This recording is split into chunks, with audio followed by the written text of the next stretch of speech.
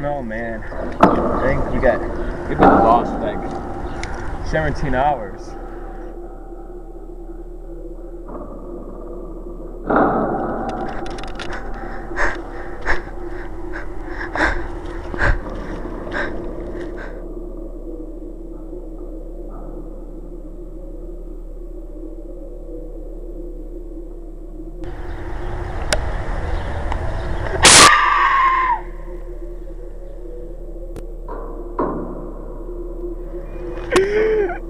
I'm scared.